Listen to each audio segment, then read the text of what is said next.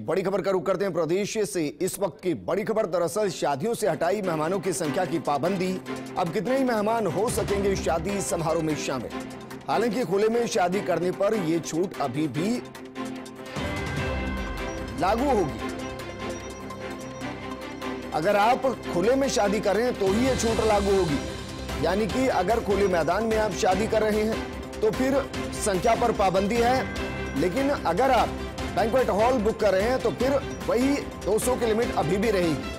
तो लोगों को लेकर गाइडलाइन जारी है। अब खुले स्थानों पर भी आयोजित हो सकेंगे विवाह समारोह। और इसी तरह के सार्वजनिक, राजनीतिक, धार्मिक, मनोरंजन और सांस्कृतिक कार्यक्रमों के आयोजन को भी मंजूरी दी गई।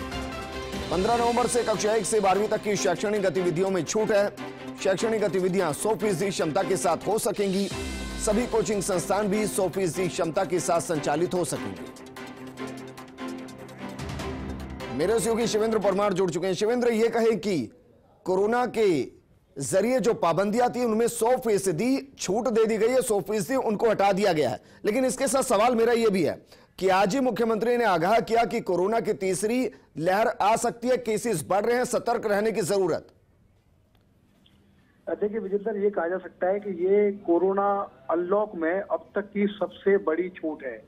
जब से राजस्थान में कोरोना की एंट्री हुई है, पहला केस मिला है, तब से लेकर अभी तक पहली बार ऐसा हुआ है कि अब शादी समारोह में संख्या की पाबंदी हटा दी गई है। कि अभी तक 200 लोग शादी में शामिल हो सकते थे, लेकिन अब जो शादी समारोह में संख्या की पाबंदी है, उसको हटा दिया गया है। अगर आप खुले में शादी समारोह कर रहे हैं तो उसमें कोई संख्या की पाबंदी नहीं रहेगी।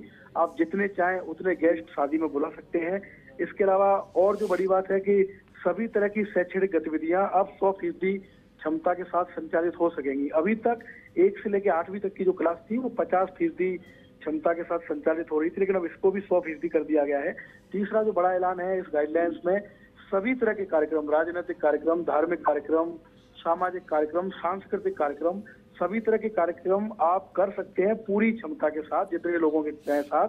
उसमें आपको किसी तरह की परमिशन अनुमति या सूचना देने की भी ज़रूरत अब नहीं है। और चौथी जो बात है कि जो कोचिंग्स हैं राजस्थान में, खासकर कोटा कोचिंग सिटी है, जयपुर में भी बहुत कोचिंग है, उनमें भी अब सौ फ़ीसदी क्षमता के साथ आप क्लास चला सकते हैं।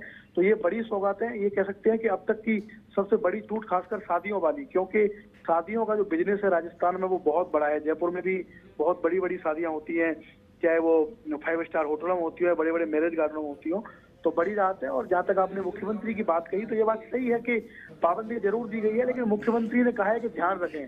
अगर आप बड़ी शादी में भी जा रहे हैं तो वहाँ पर भी आप मास्क लगा के जा सकते हैं सोशल डिस्टेंसिंग का पालन कर सकते हैं क्योंकि ये छूट देना ज़रूरी भी है विजेंद्र समय बहुत हो गया है।